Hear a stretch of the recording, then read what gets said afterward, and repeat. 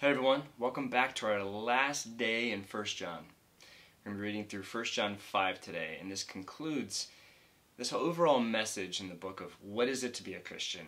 How do we live this out? How do we have confidence? How do we really know that we have a relationship? Um, and so let's jump into chapter 5. Everyone who believes that Jesus is the Christ has been born of God, and everyone who loves the Father also loves the one born of him. This is how we know that we love God's children, when we love God and obey his commands. For this is what love for God is, to keep his commands.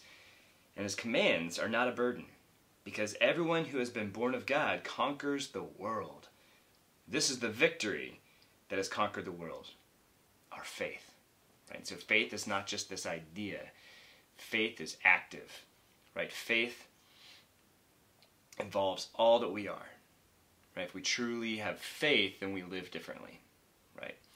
Um, and so we we know that we have a relationship with God because of of our of our profession of our faith, of the fact that we are agreeing that Jesus is the Messiah, He is God, right?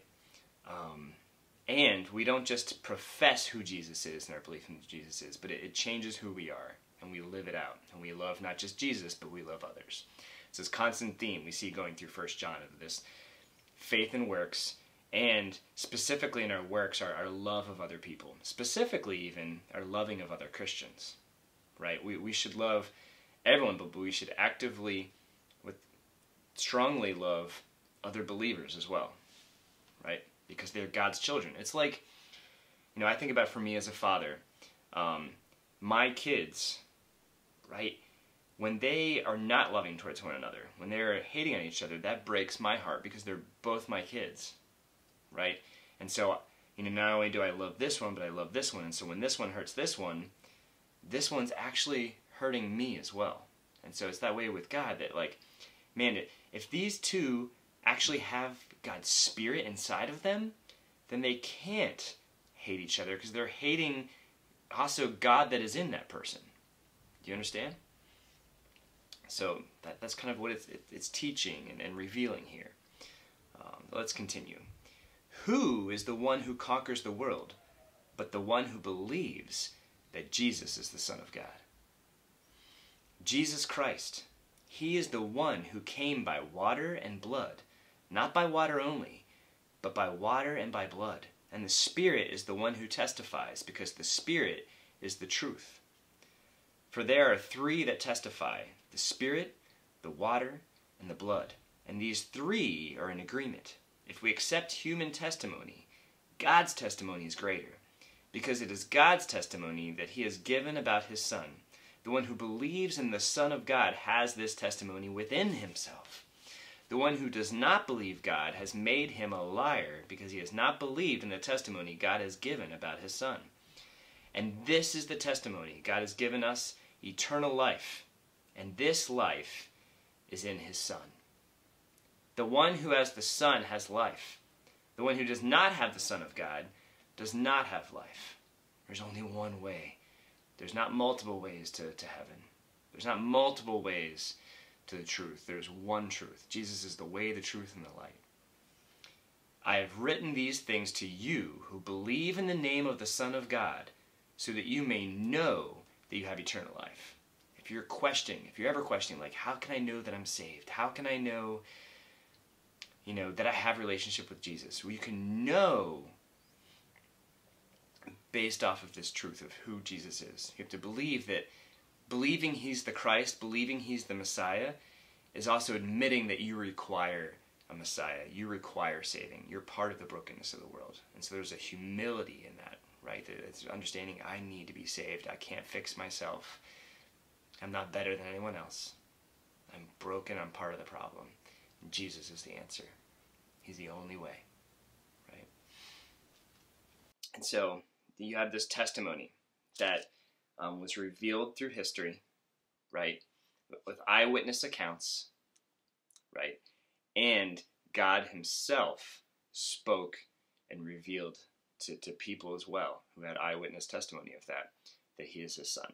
And so we're not just this blind faith hoping there's there's testimony, there's evidence, right? And we saw that back in, in First John. You know, that's where John starts with the fact that they're eyewitnesses of this evidence of who Jesus was. So we can have confidence in that. And then it continues. This is the confidence we have before him. If we ask anything according to his will, he hears us. Going back into prayer, right? And not I can ask for anything I want. I'm asking for things according to his will, and he's hearing us. And if we know that he hears whatever we ask, we know that we have what we have asked for of him. If we're asking according to his will, it's, it's already done, right? God is, is going to bring about the things that he wants to bring about, right? He, he knows all things ahead of time. He's already planned how he's going to do things. And so we're just praying in agreement with him. It's, it's done. We can have confidence. God wins. His kingdom is going to be made here on earth as it is in heaven, right? And he's going to use me as well, right? He's going to use us, the church. If anyone sees a fellow believer committing a sin that doesn't lead to death, he should ask, and God will give life to him. To those who commit sin that doesn't lead to death, there is a sin that leads to death. I'm not saying he should pray about that. All unrighteousness is sin, and there is sin that doesn't lead to death. What's he talking about here? He's talking about intercessory prayer, praying for another believer. I see a, a believer, someone who's professing um, faith in Jesus, right? And they're struggling in a sin. They've fallen into a sin. And so I'm going to pray for them on their behalf and say, man, Lord, help them be free of this sin that they're struggling with right now, right? Because I know that your spirit is in them. I know that you can do this, right? Because this is a believer, right? And so I would I would pray for that person to stop sinning because they are a believer and I know that the Holy Spirit can help them to stop doing that. But then there's this other sin that leads to death. So this is a sin that doesn't lead to death, right? Because it's a sin of a person who already has life and you can't lose eternal life. But for the non-believer, any sin that they have is leading to death. Because the only sin that leads to death ultimately is rejecting the gospel, rejecting the Holy Spirit, right? And so if someone is a non believer, I'm not going to pray that they stop sinning, right? Because then you're starting, that would be a works based religion, right? Um, I would pray that they would receive the Holy Spirit. If they, you know, if I'm praying for them, I'm not praying, help Johnny to stop getting drunk every night, help, you know, uh, Bob to stop beating his wife, right? No, I pray that they would be saved, and once they're saved, they will stop doing those things. Right? I don't pray for the behavior first before I pray before them receiving the Holy Spirit. If they were able to stop sinning without God, they wouldn't need God. Right? But so our understanding is that man, people sin because of their relationship. Right? Because they don't know God, they can't help themselves but to live the certain way. Right? So my prayer is for them to receive God God would change their hearts. Once they've received God and have a relationship with God, I can pray intercessory for them. I can pray that they would stop doing certain sins, right? Because then I know that God can do that through them, right? I know that they can stop sinning because they would have the Holy Spirit in them to help them stop sinning. And finally, we know that everyone who has been born of God does not sin, but the one who is born of God keeps him, and the evil one does not touch him. We know that we are of God, and the world, the whole world, is under the sway of the evil one. And we know that the Son of God has come and has given us understanding, so that we may know the true one. We are in the true one, that is, in his Son, Jesus Christ. He is the true God and eternal life. Little children, guard yourselves from idols. And so he goes through all this, again giving us this, this evidence of our relationship with God, this this confidence that we can have in relationship, God, we can know all these things in First John. We can know that we have a relationship with God. We can know that we can we can pray and our prayers could be effective, right? Ultimately, because of this relationship we have, and we can even know that we have this relationship based off of these things, right? And then in the end, he ends with, "Now guard yourself from idols," right? So it's cool that he does all the work of saying you can you can be assured of this relationship you can live a certain way and know you can do that because of what God has given you, His Holy Spirit. And then he also says, now get to work and, and not doing these things. Get to work. Guard yourselves from idols. Don't stray. You know that you can do it. Now persevere, knowing you have this confidence, knowing you can.